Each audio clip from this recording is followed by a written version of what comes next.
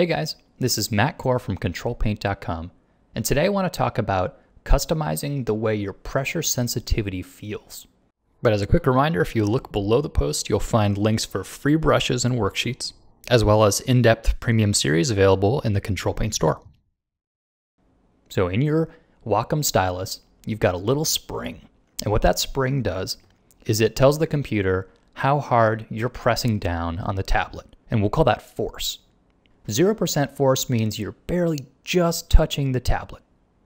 50% force means you're pressing halfway down. And then 100% force means you're really straining and you're squeezing that spring all the way down.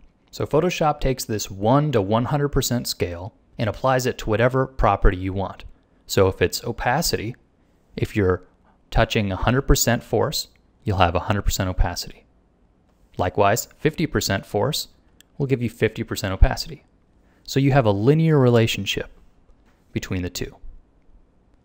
Well, if you're pretty new to digital art, you've probably installed your tablet and had no idea you could adjust the way that this feels.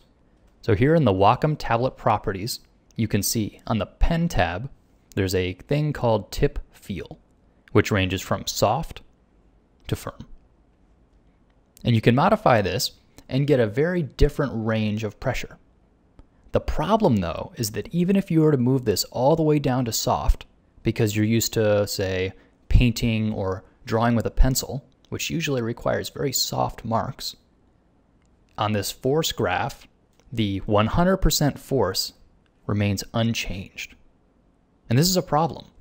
So even on the softest tip feel settings, you have a long extended range of soft marks you can make, but then at the very end, to get 100% force, you still have to press down really hard. And in my opinion, this is a problem. To solve this problem, I had to look beyond what Wacom offers. This is a third-party software that's a free download called the Tablet Pressure Curve tool. And this graph should look pretty familiar. If you were to change the properties inside of Wacom's utility, you'd be moving the center point, giving it either a softer touch or a firmer touch. Either way, you're leaving the maximum pressure at 100% because that's fixed. Well, what if I don't want to press that hard? What if I want the maximum pressure to be only compressing the spring halfway? Well, you can do that with this software. So if I move the 100% force halfway down the y-axis, what that does is it tells the Wacom pen to ignore the second half of that spring.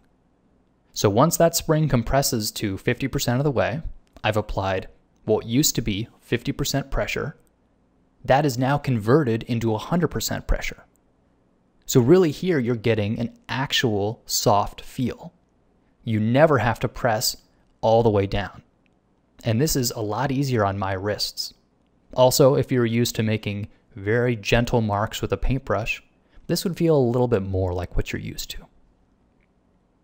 If you've never changed the way the tip feel works on your pen, I'd suggest starting with the official Wacom Properties utility. It's pretty basic, and for a lot of people it'll work fine. If you've already tried that and it's not working fine, then you might want to try out the Tablet Pressure Curve tool. Again, it's an unofficial download. Tech support will not be able to help you out with this. It's sort of a use at your own risk type of program although I've been using it for a number of months and it seems to work great. It doesn't, however, work for Mac, as far as I know. So if there's any Mac users out there that know of a great alternative to this download, let us know. So if any of you guys have personal stories about tuning in that tip feel just right, we'd love to hear them about them in the comments. So thanks for watching and stay tuned for future videos.